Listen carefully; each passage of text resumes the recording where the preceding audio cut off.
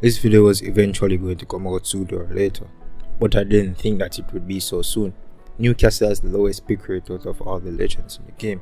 What makes it worse is that it's in his intro season. Unlike Mad Maggie who was our least above Crypto, he now sits below Crypto. But why do people not play Newcastle? That is what I'm here to explain to you today, just like the rest of my why nobody plays videos. I'll be going over the strengths and weaknesses in his. The main strength in Newcastle will generally be his kit. His kit provides a lot of utility for any team that he plays with. His shield when reviving is huge when reviving a down teammate in a bad situation and can be used as a counter for enemies who are pushing you. You can play around the shield by cancelling it and then reactivating it. His tactical is really good for entry fragging and also good on defensive because you can move the shield towards enemies and play around it to take less damage from enemies. And also you can move it through doors so you can stick an arc star on it and move it through a door that an enemy is holding and get upper hand on them. Although it can be broken if shot at enough, it still provides a decent amount of cover and time for whatever you need to defend yourself from in that moment.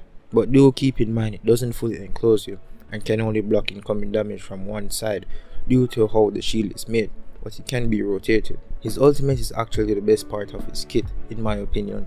His ability to create space in any area and also to provide cover is really good and underrated because no other legend can give you playable cover that can be used by your entire team and stop advances like Newcastle. Rampart's wall can easily be jumped over without any repercussions. Newcastle wall will slow you and deal 20 damage, that's the point I'm trying to make with.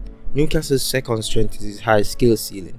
Regardless of what you may think of the legend, he does have a high skill ceiling. As we've seen in ALGS, 100 Thieves used Newcastle throughout the whole tournament and did really well with him.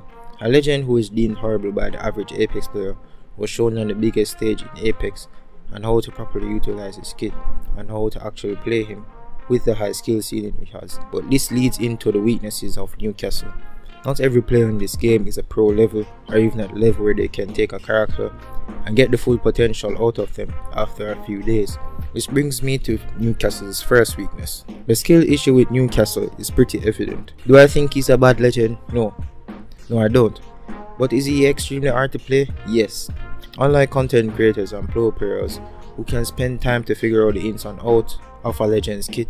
Most people don't have the time to do that and would want to play an already established legend who the community is somewhat familiar with and can easily watch a guide on them and just learn from there. With Newcastle, his kit is very situational. Whether it be you using his kit to create a better situation for yourself or your team, or his kit not being the best for the situation that you are in. Not all of us are part of the 100 Thieves roster and can bring out the full potential of Newcastle. The skill issue with Newcastle is glaringly obvious to the casual community. His second weakness is that he's not fun to play as, as with most defensive legends. They are just not as fun to play as other legends in the game.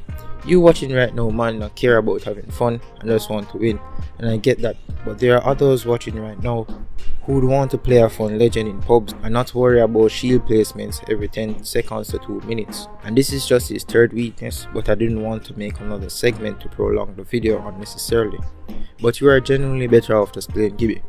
Gibby is broken as fuck, and his shield is way better in more situations than Newcastle's shield. Gibby's shield completely encloses you and your teammates for a few seconds and is impenetrable unless a Mad Maggie uses her tactical and Gibby has offensive power which is defensive bombardment which can turn the tide of a game if truly necessary.